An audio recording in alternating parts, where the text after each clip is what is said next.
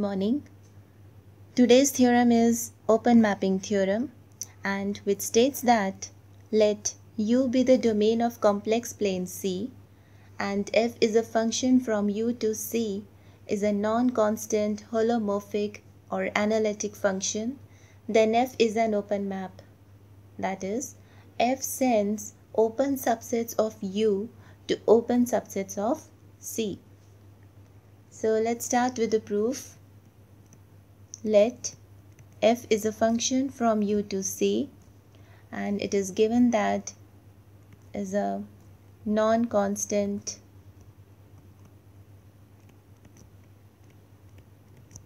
analytic function okay next यहाँ पर एक डायग्राम है दैट मीन्स ये आपकी जो डॉटेड लाइंस है this is taken as a domain U and Z nought हमने एक पॉइंट लिया है डोमेन के अंदर, जिसके अराउंड हमने एक क्लोज डिस्क बनाई है which can be consider as a neighbourhood of Z nought having the radius delta और ये जो आपके ब्लैक डॉट्स हैं these are the zeros of F Z और ये जो वाइट डॉट्स हैं these are the poles of F Z और आप देखेंगे कि सारे के सारे पोल्स जो हैं, वो डोमेन के एक्सटीरियर पे हैं right now what we have to show because we have to prove that this F map is a open map what is the definition for open set a set is said to be open if it's every point is the interior point और every point of the set has a neighbourhood inside that set only so such a set is known as the open set. So here also we have to show that every point of fu, now what is fu?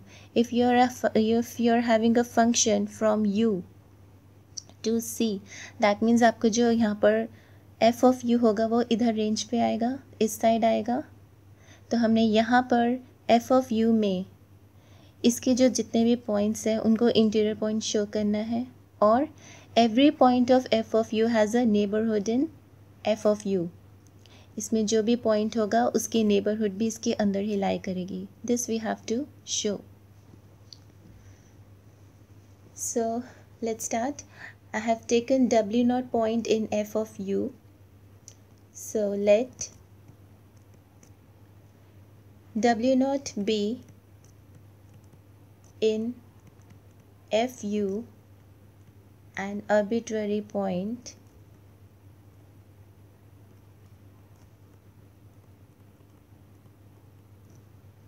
Then there exists z naught okay?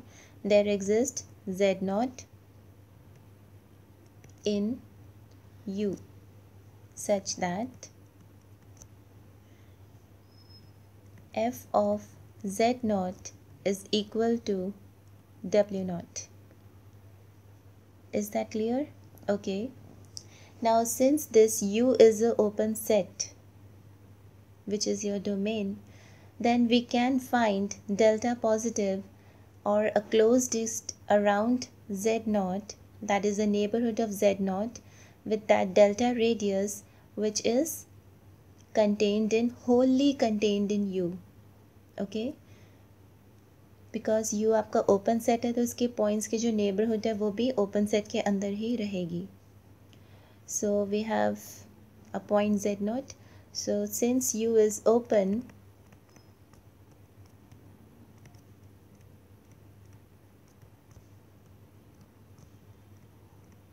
we can find delta positive such that a closed disk that is considered to be as a neighborhood of z naught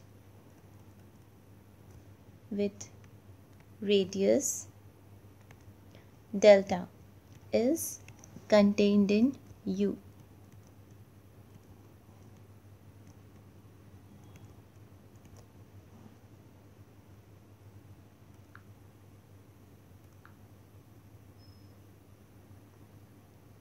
This is the neighborhood of Z naught having the radius delta.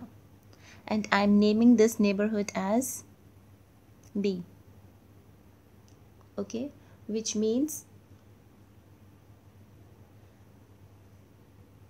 now for every W naught we are having Z naught in U such that this f of Z naught is equal to W naught now f of Z naught is equal to W naught implies what? That means f of z naught minus w naught is equal to 0 or if uh, in general we can say that f at the point z minus this w naught. This can be taken as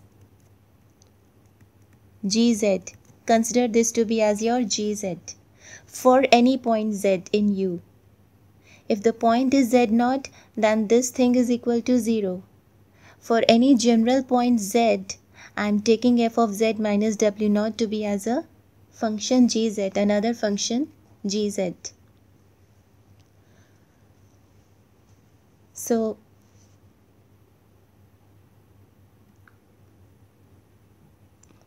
I consider another function let gz is equal to f of z minus w naught okay then अब g की value at z not क्या हो जाएगी g की value at z naught is equal to f of z naught minus w naught and that is equal to 0 that means g of z naught is 0 what does this imply this implies that z naught is the root of gz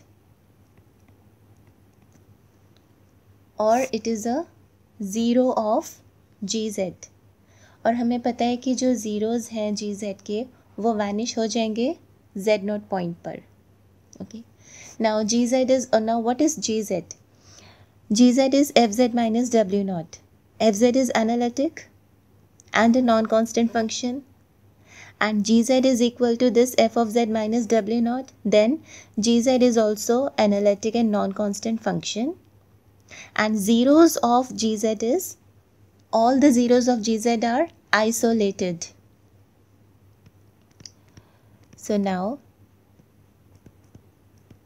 gz is the non-constant function. We can say this from 1 and analytic function.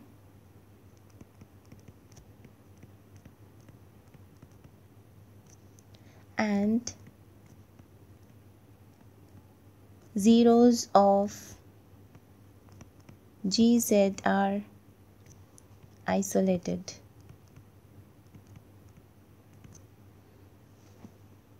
whenever the zeros of gz are isolated. Now what is the zero of gz here? That is at Z0, the value for g is 0. So Z0 is the root of gz or it is a zero of gz. Now अब हमने क्या करना है? यहाँ पर हमारे पास जो radius जो यहाँ पर हमारे पास नेबरहुड है बी यू डोमेन के अंदर। ये नेबरहुड हमारी यू डोमेन के अंदर है। अब सिमिलरली हमने जाना कहाँ पर है? सी पर जाना था। तो इसके अंदर भी हमारे पास इसकी इमेज होगी। जैसे हमारे पास कोई पॉइंट होता है फ़ंक्शन का। Suppose this is a function from X to Y इसके अंदर जो एक पॉइंट होगा, उसकी इमेज हमारे पास यहाँ पर मिलेगी। या इस पॉइंट की प्री इमेज यहाँ पर मिलेगी। सिमिलरली अगर हम इस पॉइंट को एज अ नेबरहुड देखेंगे तो जो यहाँ पर हमारे पास नेबरहुड होगी, जो हमने बी ली हुई है तो उसकी इमेज यहाँ पर क्या होगी? एफ़ ऑफ़ बी ठीक है? हमने क्या करना है? इसकी नेबरहुड यहाँ पर देखनी है F of B right? Okay.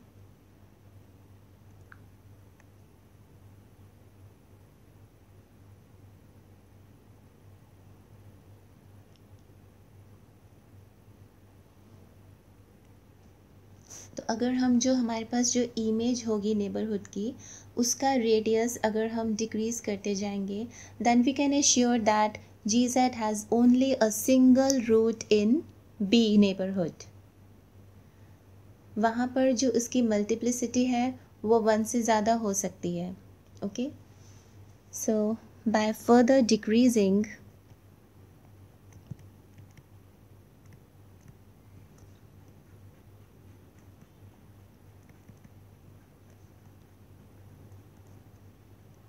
the radius of,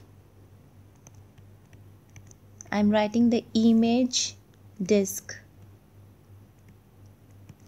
जो बी नेबरहुड की इमेज होगी the image disk we can assure obviously जो जी की वैल्यूज़ है वो वहाँ पर आएँगी, आपके रेंज वाली साइड पर आएँगी सारी, ठीक है? जी जी जो आपका फ़ंक्शन किसी भी जेड पर लगेगा, उसकी वैल्यू आपकी रेंज वाली साइड पे आएगी। तो हमने इमेज डिस्क का रेडियस जो इतना डिक्रीज़ कर सकते हैं फर्दर अगर हम उसका रेडियस डिक्रीज़ कर दें तो we can assure that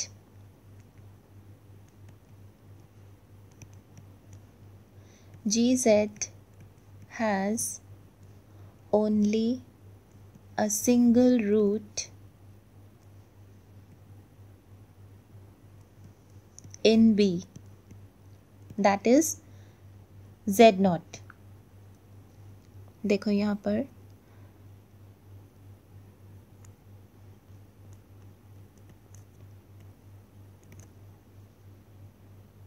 okay okay. Z not पर आपका जी जो है वो वैनिश कर रहा है और बाकी जगह पर आपका जी जेड जो है वो नॉन ज़ीरो है। It is a non constant function तो बाकी जगह पर ये वैनिश नहीं करेगा, सिर्फ़ जेड नॉट पर ये वैनिश कर रहा है, ठीक है? क्योंकि ये आपके जो बी है, वो क्लोज डिस्क है तो हम उसको एक एज अ कम्पैक्ट सेट भी कंसिडर कर सकते हैं, जहाँ पर हम जी जेड मॉड का मिनिमम भी ले सकते हैं उस बाउंड्री के ऊपर। क्योंकि ये बाउंडेड है तो इसके अपर लोअर बाउंड्स होंगे। तो हमने क्या लेना है? इसका मिनिमम लेना है बाउंड्री पर। We are taking the minimum of G Z mod on the boundary of B and because जो बाउंड्री है बी सर्कल की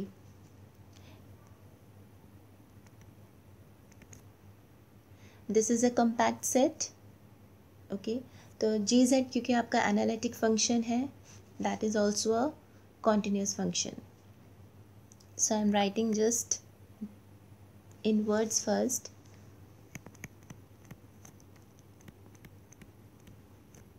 the boundary of B is a circle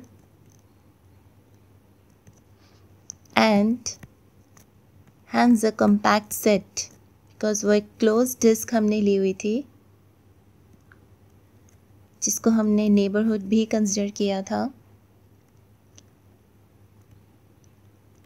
it's compact set जिसके ऊपर। ना वो कम्पैक्ट सेट हमारा bounded set होता है। क्लोज्ड और बाउंडेड सेट होता है। तो वो भी हमारे पास एक क्लोज डिस्क है और वो सर्कल फॉर्म में है बाउंडेड भी है।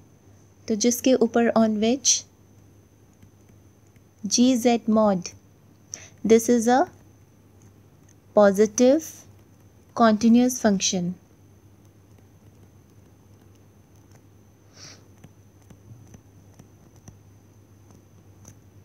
so हमारे पास एक मिनिमम एग्जिस्ट होगा there exist M positive M is taken to be as a minimum of mod G Z this is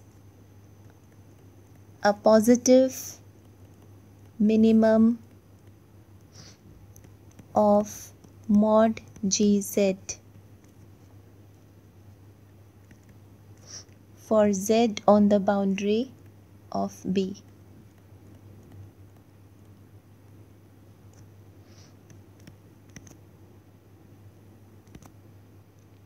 That means mod of gz is greater than equal to m. This is the minimum okay?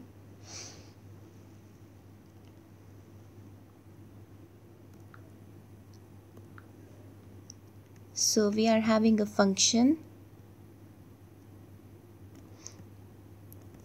on this b. We are having a function on the domain u having this neighborhood of z naught of radius delta. यहाँ पर हमारे पास अब इसकी image neighbourhood बन रही है। उसको हमने डी नेम के साथ कंसिडर किया है। जहाँ पर हमारे पास डब्ल्यू नॉट पॉइंट था राइट right, और इसका रेडियस हमने एम रखना है।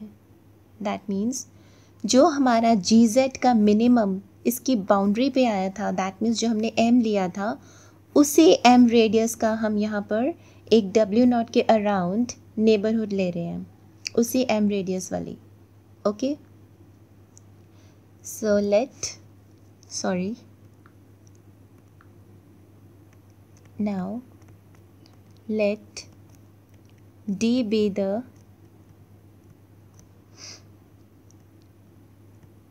disk around w naught with radius, remember, with radius m. Suppose W1 एक और पॉइंट ले लेते हैं D के अंदर, ठीक है? I am taking this point W1 one more point I have taken तो इसका डिस्टेंस अगर हम देखेंगे इसके साथ इन दोनों का डिफरेंस जो होगा, वो इस एम से लेस है। दैट मीन्स जो आपने यहाँ पर मिनिमम लिया था जी जेड मॉड का, वो ग्रेटर है। जो भी पॉइंट्स आप लेंगे, उनके डिस्टेंस से हमारा जो एम है, वो ग्रेटर है। सारे के सारे पॉइंट्स के लिए हमारा जो एम है, वो ग्रेटर होगा। डिस्टेंस फ्रॉम डब्ल्यू नॉट के साथ। जितने भी आप पॉइंट्स लेंगे, उसका डिस्टेंस जो डब्ल्यू नॉट के साथ होगा, वो डिस्टेंस इस एम डिस्टेंस से लेस होगा, ठीक है?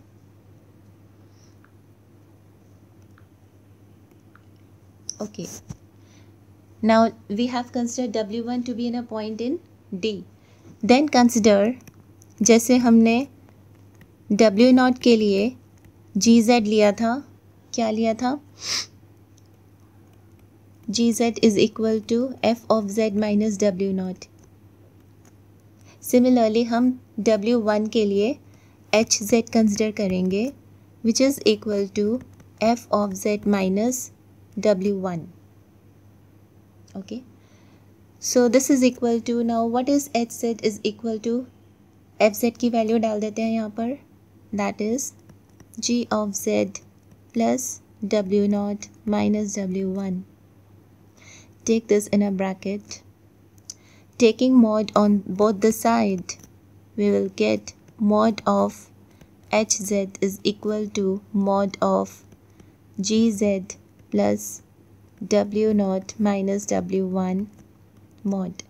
This is further less than equal to mod of gz plus mod of w minus w1 which is further less than strictly less than mod of gz. Now we get that mod of hz is strictly less than mod of gz. Do you remember the Rauch's theorem? Yes. Now by the Rauch's theorem, the function we are having two functions now, hz and gz. Now this function gz will have the same number of roots counted with multiplicity in B as hz for any W1 in D. Again, this is your B and this is your D. Here the point Z0 is present. Here the point W0 is present and W1 is also there.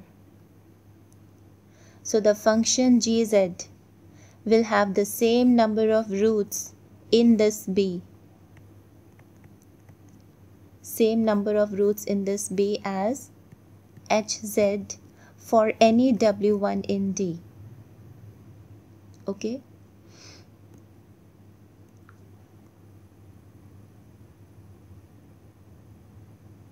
so now we are using we can write by Rauch's theorem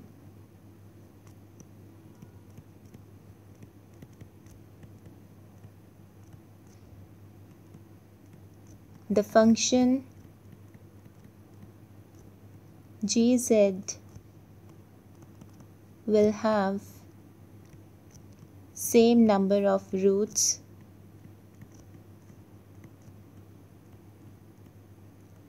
Count it with multiplicity.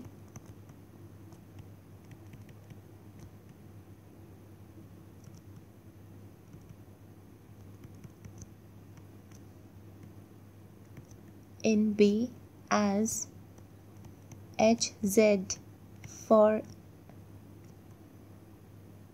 any W1 in D. Okay.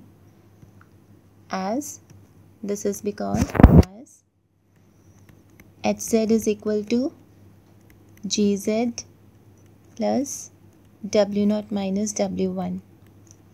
This thing is here and for Z on the boundary B.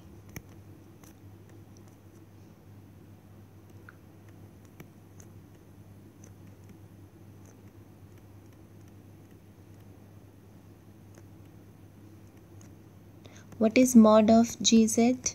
This is greater than equal to M. And what is M further greater than? The distance between the points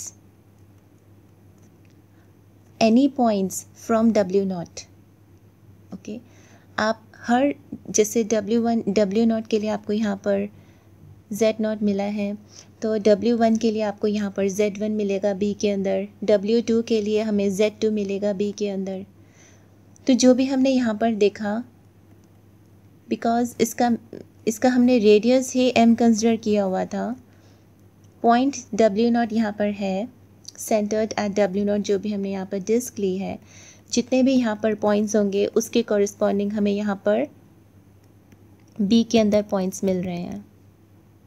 Okay so for every W one in D there exist Z one F of Z one is equal to W one जैसे F of Z nought is equal to W nought हो रहा था, ऐसे अब हमें W one के लिए Z one मिलेगा डब्ल्यू टू के लिए जेड टू मिलेगा, ऐसे सो ऑन होगा, ठीक है? जिसका मतलब क्या हुआ? जब भी ऐसा कुछ फ़ंक्शन जिसके ऊपर लगे, ठीक है? ये दो अगर आप एज अ पॉइंट कंसिडर करते हैं बिकॉज़ यहाँ पर आपका डोमेन जो है वो यू है, और यहाँ पर आपका डोमेन जो है वो एफ़ ऑफ़ यू है। अगर हम इनको एज अ नेबरहुड का एज अ पॉइंट देखेंगे, इसके कॉरस्पॉन्डिंग हमें यहाँ पॉइंट मिल रहा है, दूसरे के कॉरस्पॉन्डिंग हमें यहाँ पॉइंट मिल रहा है, जिसका मतलब क्या हुआ? आपके ये जो पॉइंट्स हैं, वो किसके अंदर चले गए? एफ़ ऑफ़ जैसे हम यहाँ पर एक्स वाई के साथ देखते हैं, जो भी पॉइंट्स होते हैं यहाँ पर एक्स के और वाई के। जो एफ़ ऑफ़ एक्स होंगे, वो सारे कहाँ पर चले जाते हैं? वाई के अंदर? ओके सिमिलरली यहाँ पर अब नेबरहुड की बात हो रही है। तो दिस मीन्स जो आपकी नेबरहुड है D that will be contained in F of B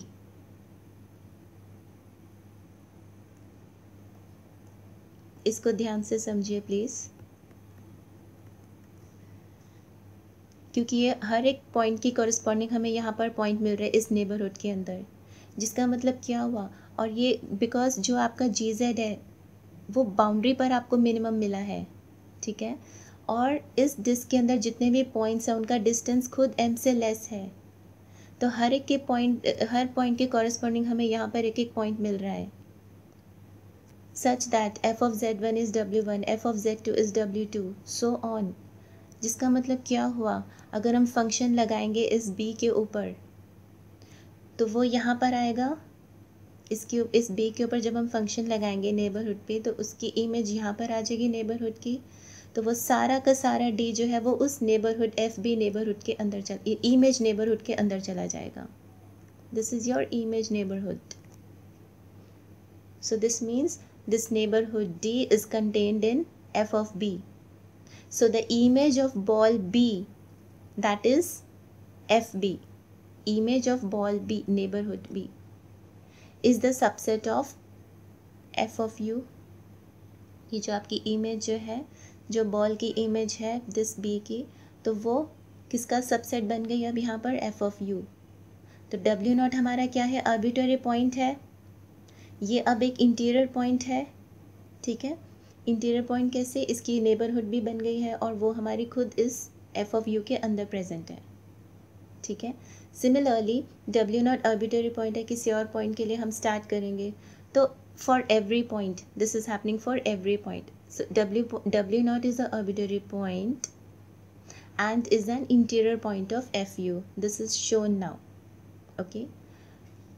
और u भी हमारा arbitrary है तो सारा का सारा हमारे पास जो एफ़ मैप है, वो अब क्या बन गया? ओपन बिकॉज़ वो ओपन सबसेट्स को u के ओपन सब u के ओपन सबसेट्स को f ऑफ़ u के अंदर भेज रहा है। Okay okay? तो सारा का सारा मैप अब हमारा ओपन बन गया। यही हमें प्रूव करना था। तो now I am writing this in words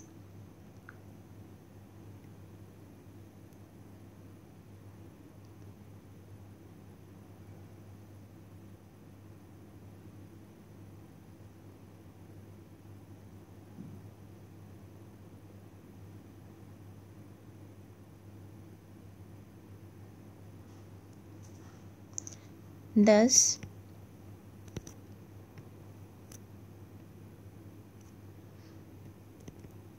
for every W one in D there exist Z one in B such that F of Z one is equal to W one आप function की definition पढ़ेंगे तो आपको और ज़्यादा clearly समझ आ जाएगा। So this means neighborhood D is contained in FB which is the image neighborhood of B. So the image of ball B that is FB is the subset of FU.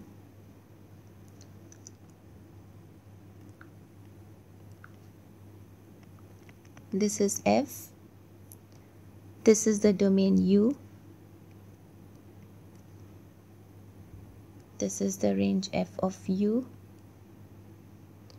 having the ball b over here okay मैं दूसरे colour से बनाती हूँ having the ball b over here and there is a ball the image now the image for this b is f of b इसको दूसरे colour से बनाते हैं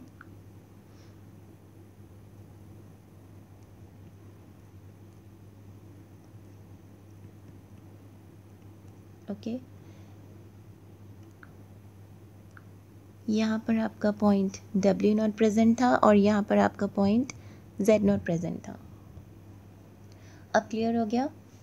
सभी के सभी पॉइंट्स के लिए हमें यहाँ पर पॉइंट्स मिल रहे हैं कॉरिस्पॉन्डिंगली तो दैट मीन्स आपका जो डी नेबरहुड है this is contained in the image of F B sorry image of B which is F of B and further and further you are seeing that this f of b that is the image of this ball b this is furtherly contained in this f of u which is a subset of f of u so this w naught is arbitrary और ये prove हो गया कि ये interior point है because इनकी neighbourhood जो है वो खुद एफ़ ऑफ़ यू में प्रेजेंट हो रही है so finally thus W nought आपका अब एक इंटीरियर पॉइंट बन गया। W nought is an interior point okay, i will write the full word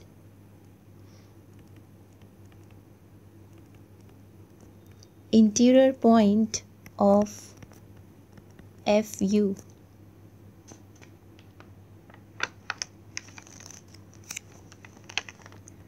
since W naught was arbitrary.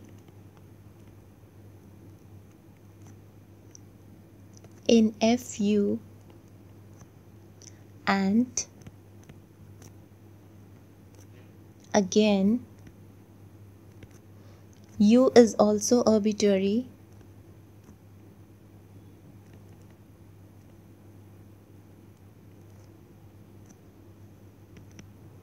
the function f is open. Thank you.